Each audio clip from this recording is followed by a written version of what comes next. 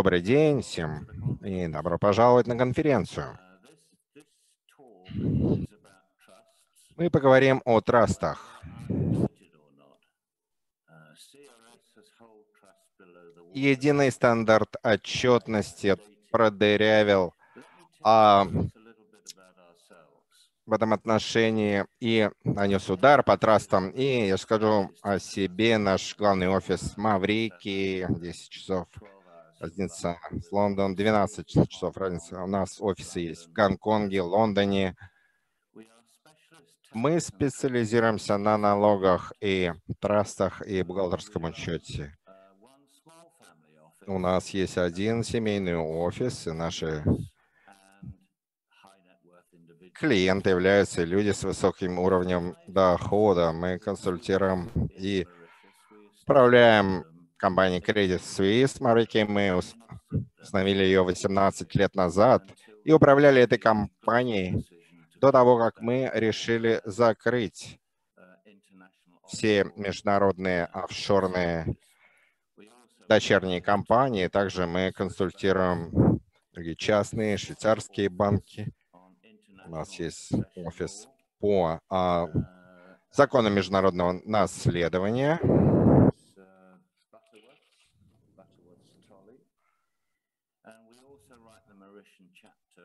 Также мы написали устав для офшорного сервиса для LexisNexis, и, и он редактирован спецом. Я также являюсь частью торговой палаты в Гонконге, которая является ведущей палатой по налогам и торговле. И, как я сказал, несколько лет назад было 10 членов, а сейчас уже 75. Итак, наши полные резюме располагаются на веб-сайте Гонконга. Извините, что я говорю, что были некоторые технические сложности войти в Маврики, и наш сайт Маврики не работает сейчас. Но если хотите получить информацию из сайта Гонконга, можете это сделать. Вот прежде чем мы перейдем к слайдам, я бы хотел вкратце рассказать об истории этого траста, потому что имеет удивительную историю. И мало людей знают о контексте о том, как трасты развивались. Англосаксонские юристы а, тематические а, специализируются на трастах и очень хорошо знакомы с ними. Да, потому что для того, чтобы сдать любые юридические экзамены, экзамены по праву в юрисдикциях с английским языком, и должны а, предоставить вот основной а, экзамен по трастам, сделать письменную работу. Англосаксонские юристы очень хорошо знакомы с ними. Однако, вот это знакомство с трастами привело многих юристов вот к слепому следованию, слеп, слепой вере в трасты, потому что а, все используют трасты, в то время как существуют более современные структуры, которые превосходят трасты и больше соответствуют современному коммерческому миру. И вот мои коллеги так считают, и я считаю, что трасты, которые в современном мире уже потеряли свою полезность, и последующие 5-7 минут мы посмотрим на усилия по использованию этих трастов. Традиционные трасты использовали для развития собственности и состояния. Мы видели 450 лет развития этих трастов до 16 века. Затем и а, устав по использованию в 1567 году и был первый исторический усилие того, чтобы избег, из, а, того, чтобы избегать, а, для того, чтобы бороться с, с избеганием налогов. И в то время как бенефициары были юридическими а, владельцами. И это означало, что можно было облагать налогом землю, однако этот статус не смог выполнить свою задачу, потому что юристы использовали использование на использование.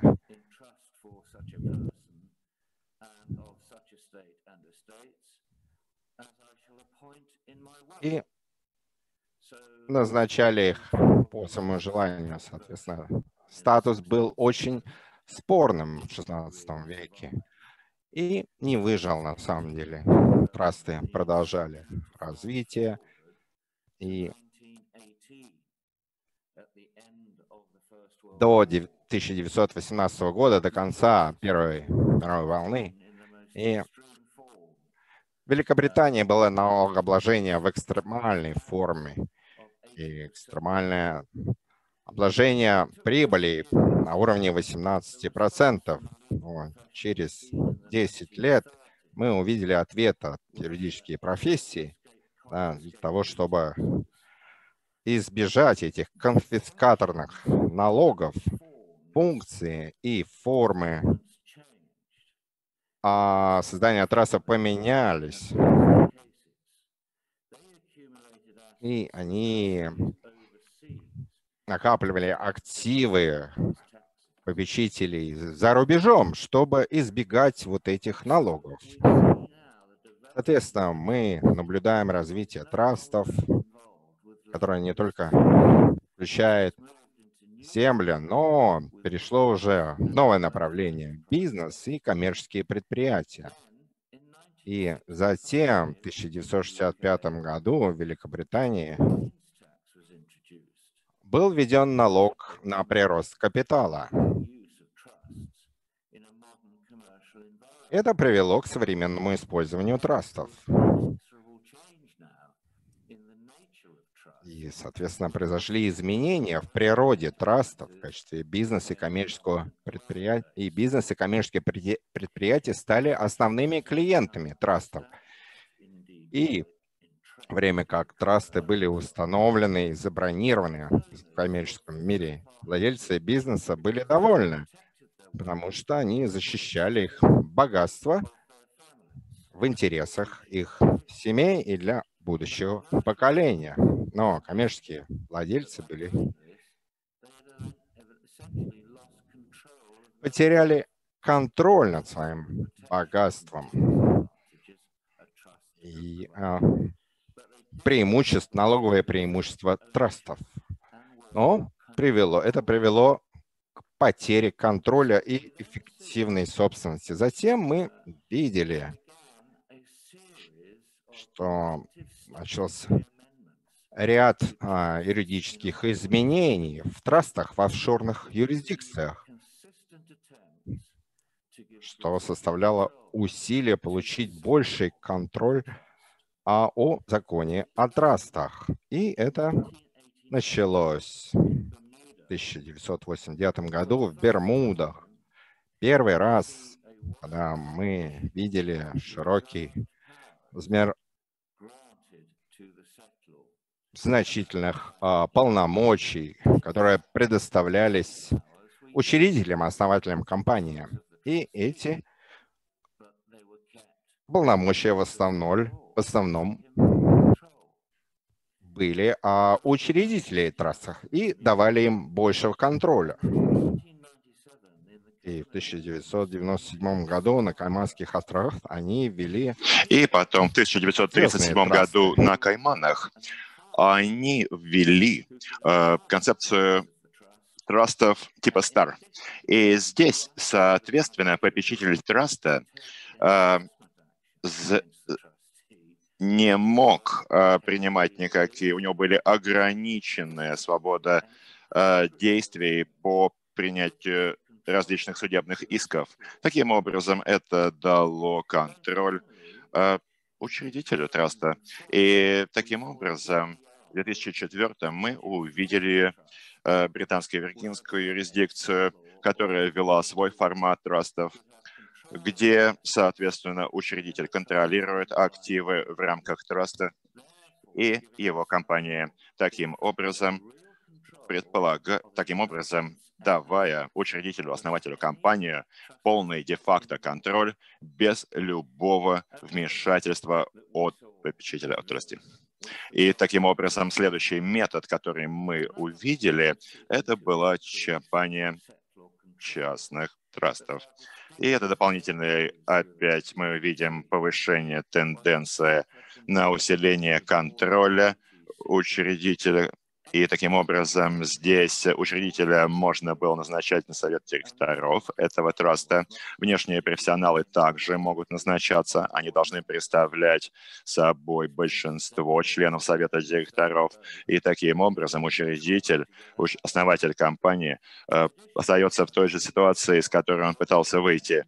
Дополнительно у нас дополнительная опасность судебных исков. Э, нужно очень э, детальная отчетность, очень дорогая и занимает много времени. В дополнение к этому директора э, также могут... Э, так существует риск со внешними директорами. Его все понимают. И теперь говоря о законодательстве Бермуд, мы видим, что э, власть, э, что способность инвестировать может делегироваться учредителю под законодательством британских Виргинских островов, Сингапур, Гонконг также принимает похожие шаги. Итак, резюмируя, все попытки увеличить контроль попечителя, основ... увеличить контроль учредителя, основателя компании, пока что ограничивались, э, они не были пока что полностью развиты. И уже значительный период времени мы видим прогрессивное э, падение роли офиса и функции учредителя, основателя компании, будь то передача э, каких-то полномочий, которые обычно являются обычно являются его правом, либо нас право назначить попечителя. И обычно это является попыткой трансформировать таким образом попечителя в просто агента, де-факто агента учредителя или основателя.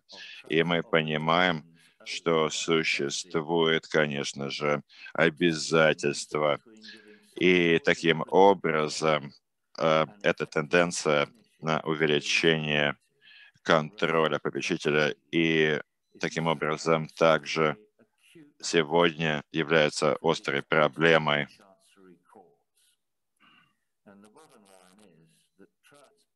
Простите, что я говорю без слайдов. Это была краткая предыстория слайдов, э, как предыстория трастов и текущей ситуации. А теперь, э, как я вам уже рассказывал, э, вам о минусах использования трастов, вы, конечно же, передаете власть над управлением активов другим, и таким образом, таким образом законодательство здесь эффективно управляем трастом. Это система ШЭМ. Это фейковый траст. Но в эффективной системе, вы знаете, попечитель может сделать, может принимать только определенные меры. Очень часто я видел попечителя, который имел возможность сместить учредителя либо основателя. Это, конечно же, абсолютно экстремальное правило. И, конечно же, функционал попечителя обеспечить, э, э, следовать, обеспечить то, что учредитель, основатель компании следует правилам траста. И мы понимаем, что на практике почти 90% э, письма пожеланий э, следуют, но они не имеют законной силы. 90% э, соответственно, впечатлений, они отказываются им следовать.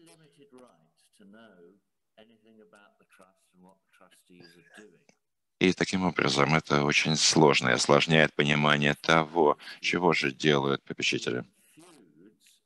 А, говоря о семейных спорах, они также решаются не попечителем, соответственно, а доверителем траста. И еще больше более интересный случай 2017 года. Траст Крычане, где у нас существовали э, две дочки, Кристина Камила, их мать, которая была предметом траста, между сестрами, составил траст между сестрами и мать и матью произошел спор. Мать приняла сторону Кристины, а Камила э, смогла совместно с мамой исключить э, сестру из траста как э, выгодополучателя. И таким образом э, в этом случае попечитель траста э, принял предвзятую позицию, Кристина обратилась в суд, выиграла и выиграла 200 миллионов фунтов. Таким образом, сегодня позиция э, попечителя и управляющего фондом, поскольку существует повышенный риск э, юридических исков. И я не знаю, если вы видите это, мой, экран, но это юридический доклад от Национальная траст-ассоциация, которая выходит э, каждые шесть недель. И этот э, доклад сегодня э, изучается каждым специалистом в области трастов. Но всего лишь 20 лет назад, вы знаете, трасты стали такими модными, что Lexus Nexus решил, что им нужно представлять актуальную информацию и кейсы по подобным вопросам и спорам в отношении трастов. И таким образом э, мы видим не только растущий рост и риски э, судебных исков, но также растущую стоимость администрации трастов. И что самое катастрофическое, что необходимо отметить сегодня, это регуляторный климат. ФАТа 2020 Евросоюза. И таким образом эта враждебность началась лет 10 назад во Франции, Швейцарии и Германии. Эти страны эффекти... не хотели признавать трасты, и ОСР также к ним присоединилась. И поэтому сегодня существует обязательно единая отчетность и автоматический обмен налоговой информацией.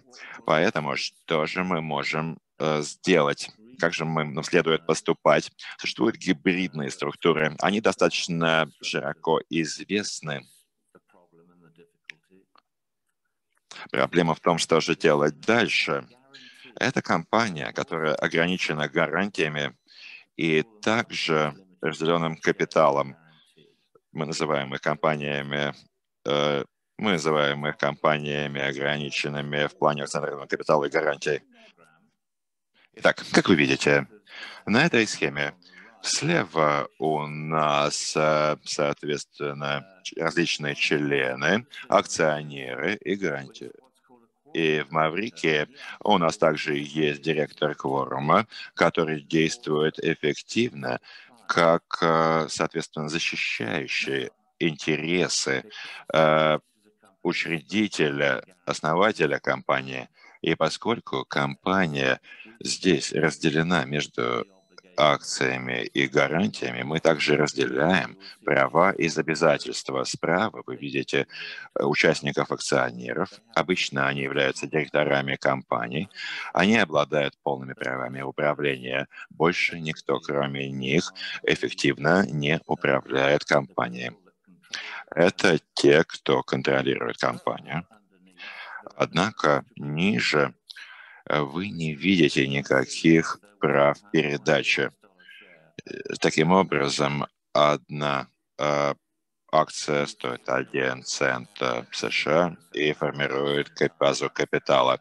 Очень часто менеджер по активам также привлекается клиентам. Слева вы видите членов компании «Гарант», участников «Гарантов». У них нет прав управления.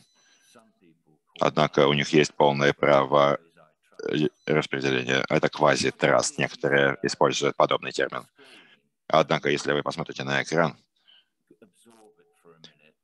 и на секундочку, э, проанализируете эту ситуацию, вы, наверное, зададите себе вопрос. Где же находится клиент в этой структуре? И вот в чем смысл этой структуры. Клиент отсутствует в поле зрения. Э, как вы видите здесь, под гарантом участником, гарант участник, который в этом случае клиент, он никогда не назначается. Он может быть назначен, но тогда э, мы будем раскрывать бенефициара владельца компании. Поэтому в этом случае мы используем компанию, которая соответственно, обладает акционерным капиталом. И результат этого для клиента, весь эффект, весь выхлоп для клиента заключается в том, что... Простите. Минутку. И результатом этого является то, что у клиента нет прямых э, связей, прямого интереса, прямого, э, а, прямых акций. У них нет прав управления, у них нет по аналогии также э, право пользоваться активами либо доходом в соответствии с формальным э, тестом. И таким образом э, здесь, в этом случае, как результат, отсутствует требование об отчетности клиента, клиенту. Э, также э, акт э, опциона может быть рассмотрен клиентом Э, для назначения как членом-гарантом, но в отношении регулирующих организаций клиент защищен, это частный клиент. Это также удаляет э, все риски, соответственно, защиты наследия и передачи активов, поскольку если бы и также защита от, от юридических э, исков, от судебных исков, если вы ничем не владеете, вас нельзя засудить. Если вы умрете, э, если вы, соответственно, э, умираете, ваша жена занимает ваше место автоматически. Таким образом, это является корпоративным эквивалентом траста. И здесь трасти являются директорами, получатели выгоды – это члены гарантера, члены гаранта. И здесь нужно супер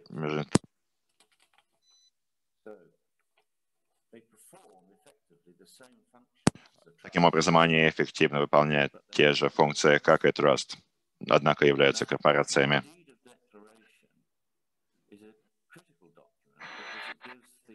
Это, критический это является критической доктриной и дает э, клиенту возможность, возможность а, стать взять, перехватить. владельцем. И сейчас у нас нет таких клиентов, которые хотят это. Права переводятся они не автоматически, это очень важно, потому что у него есть права а, быть рассматриваться, но нет прав а, быть назначенным. И тут нужно быть очень осторожным в том, как это составляется. Если он а, рассматривается положительно, тогда ему позволяется быть назначенным в качестве гаранта. И подходим к завершению. Краткое описание преимущества использования компании специальных гарантий, вы даете свое богатство, но в то же время вы оставляете право владения. Что означает владение? Некоторые люди скажут, что это контроль. Однако я бы сказал, что это значительно большее влияние на активы и богатство в гарантирующей компании, чем было бы обычно в качестве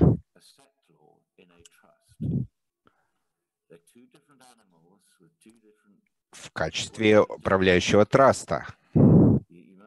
Соответственно, тут большая в качестве учредителя, основателя траста есть различные юридические обязательства. Обязательства директора очень высокопороговые. Они должны сделать что-то мошенничество – в то же время как в качестве управляющего траста есть всегда существует риск судебного разбирательства и риск вовлечения в эти судебные разбирательства. И компания ограниченная гарантией, есть, соответственно,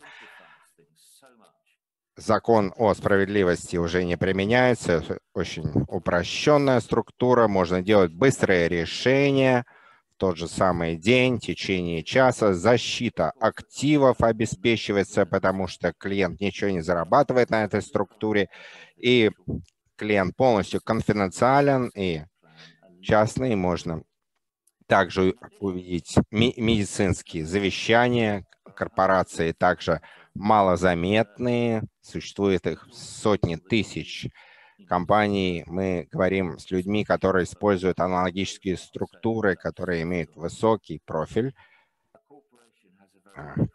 У корпорации такого рода очень такие очень малозаметные. И, наконец, юриспруденция полностью устойчиво не изменяется. Эти компании работают по контрактному законодательству и корпоративному законодательству, и это очень просто – и я думаю, вот полчаса мои закончились.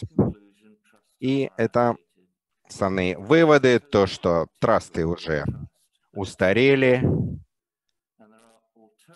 и есть альтернативы для трастов, и они существовали уже много лет.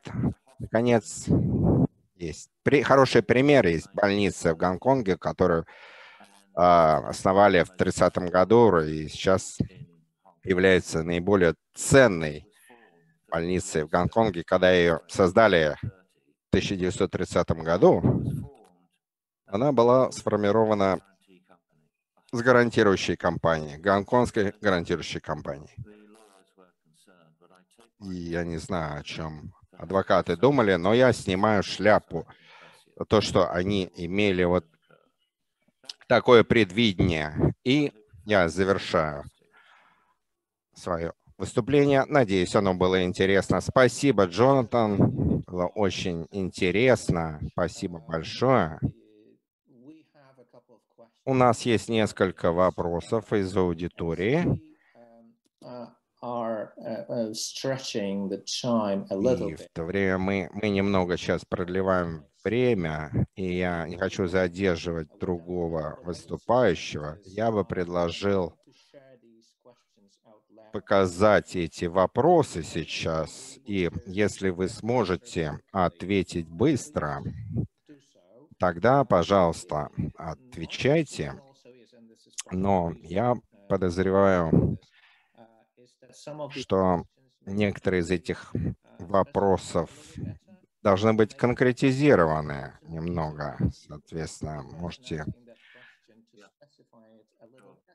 воспользоваться возможностью попросите конкретизировать этот вопрос, и, возможно, они более конкретно спросят, и вы ответите в сессии ответов и вопросов. Первый вопрос. Сколько стоит создать специальный траст защиты активов и специальную компанию? И какие дополнительные детали можно иметь можно обсудить в сессии ответов и вопросов. И Второй вопрос. Если уже есть траст, что можно сделать? Можно ли сделать из траста гибридную компанию? И сколько времени занимает создание гибридной компании? Можете ответить на один из нескольких. Я бы ответил на второй вопрос, потому что мы много этим занимаемся. Люди, которые хотят избавиться от траста и перейти на гарантирующую компанию, это очень просто. Траст назначает гарантирующую компанию в качестве бенефициара, распределяет все активы гарантирующую компанию и затем траст прекращает свое существование. Это очень просто. Письменной форме могу ответить тоже, что у нас есть а, определенная программа по времени. Компания гарант создание будет стоить 15 тысяч. И затем на затем на продление развития будет определенная плата над валором, плюс некоторые комиссии за управление компанию гаранта, которая включает все. Там нет никаких надбавок. И...